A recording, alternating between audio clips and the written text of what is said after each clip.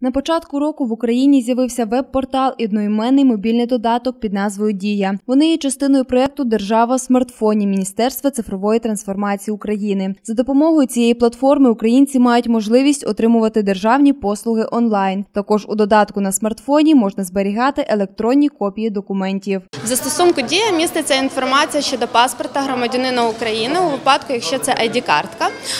Також безпосередньо міститься інформація по закордонний паспорт, біометричний, водійські права. І від нещодавно виникла можливість при оновленні додатку. ем, Відображення ідентифікаційного коду. За словами заступниці начальника управління забезпечення надання адміністративних послуг Тетяни Якубчук, все більше рівнян звертаються із електронними копіями документів, які зберігаються у мобільному додатку Дія. Тому 6 жовтня в ЦНАПі з'явилася нова послуга. Кожен клієнт, який користується застосунком, може передати цифрові копії документів під час отримання адміністративних послуг. Клієнти центру надання адміністративних послуг при отриманні е, послуги щодо реєстрації місця проживання мають можливість е, поділитися копією електронного паспорта. Міністерство цифрової трансформації заявляє про те, що в них найвищий рівень захисту персональних даних е, з приводу самого додатку Дія. Аби передати копії, адміністратор вводить у систему номер штрих-коду, який міститься у телефоні клієнта після обрання потрібного документу. Пізніше приходить сповіщення про підтвердження операції. Достатньо одного кліку, аби документи відобразилися у реєстрі територіальної